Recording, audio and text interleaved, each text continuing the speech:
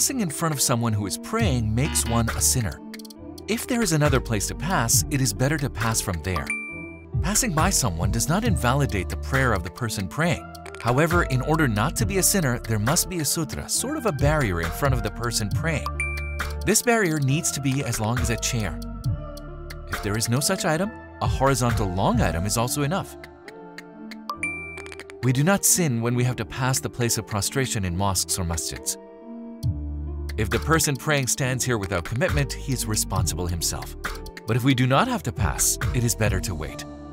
The Messenger of Allah, peace be upon him, said, If one who passes in front of a man who is praying knew the responsibility he incurs, he would prefer to stand still for 40 rather than pass in front of him. Subscribe to reach more videos. See you.